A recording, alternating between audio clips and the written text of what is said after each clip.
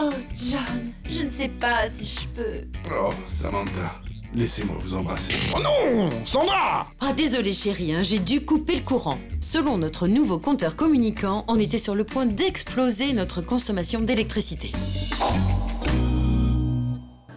Le compteur électrique Linky, dit compteur communicant, va progressivement remplacer les anciens compteurs.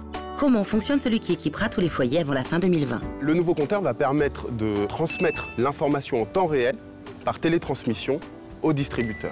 Ce qui va permettre d'avoir une facturation pour le consommateur uniquement sur sa consommation réelle et non pas sur l'estimation comme ça pouvait être fait antérieurement par le distributeur et qui était source d'énormément de litiges dans ce domaine. Les informations seront accessibles en temps réel grâce à un affichage visible sur le compteur et des données de consommation seront détaillées sur le site du distributeur d'énergie ce qui permettra à l'usager de mieux agir sur sa consommation. Ça va donc permettre au consommateur de se responsabiliser vis-à-vis de sa consommation et surtout, ça va permettre de proposer des formules tarifaires différenciées selon les heures de consommation. Il pourra choisir un abonnement plus fin, correspondant mieux à ses besoins et ainsi lui permettre de mieux optimiser, encore une fois, sa consommation d'électricité.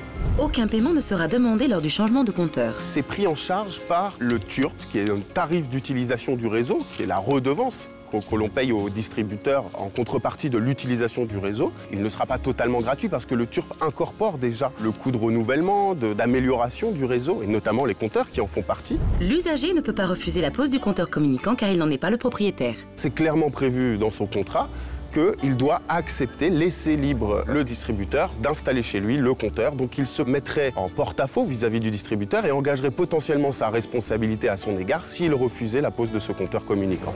Ce nouveau compteur transmet directement votre consommation à l'opérateur. Il permet de maîtriser plus facilement sa consommation d'énergie. Son installation n'entraîne pas de surcoût et elle est obligatoire. Allez Allez Mais non Non